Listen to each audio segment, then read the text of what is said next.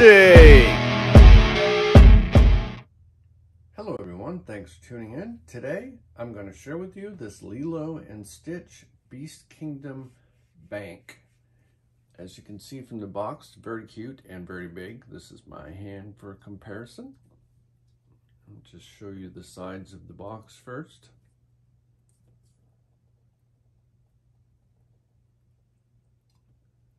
And then we will open this up and see what it looks like in person.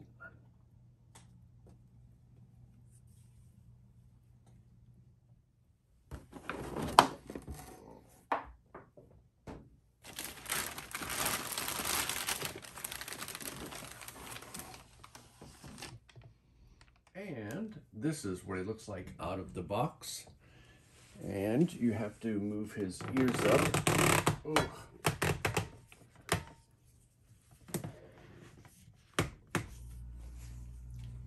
Go.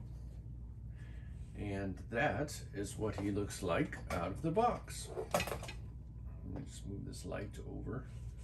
I think he's so cute.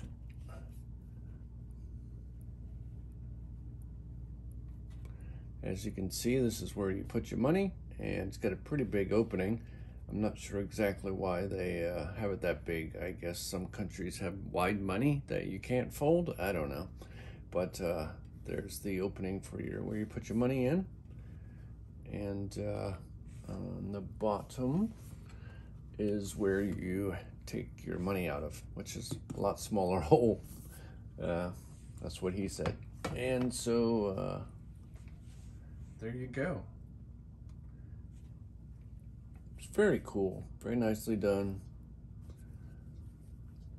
Paint uh, could be a little better. It's a little rough around the edges here. I'm assuming they probably masked this off with some type of tape or a template so they can do their airbrushing or hand painting. But otherwise, I think he's very cute and will make a great addition to my Disney collection. And uh, I will give you some information on where you can find this yourself. If you're looking for it, it's uh, at quite a few places. It's available in the U.S. Um, through many outlets. So uh, I will share that with you.